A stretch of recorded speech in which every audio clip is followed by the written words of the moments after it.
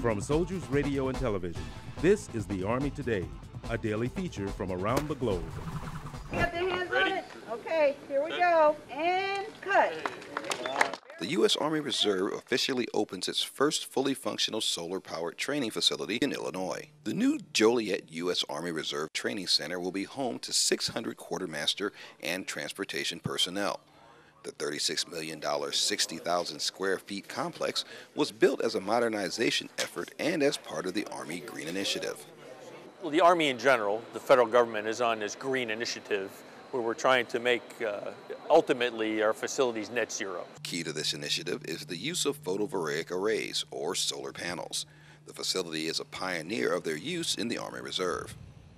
Solar array is designed to produce 150,000 watts hours of electricity per year. That is approximately 80 to 90 percent of the electric load of the facility itself. Not only is this a big step for the Army, but it's a big step for the Army Reserve in partnering with the communities on a higher level than what we're accustomed to. Instead of just implanting ourselves in there, we're really becoming an integral part of the community. And as one local official expresses, the military and civilian partnership makes for a better relationship and mutual respect all around. Elwood. Not only is it an economic, uh, a dynamic part of our economics in the village of Elwood, uh, but we also feel it is our duty and our responsibility as citizens of the United States to support our armed forces and our troops. Uh, and I think that this is an extension of that, and we look forward to having them here.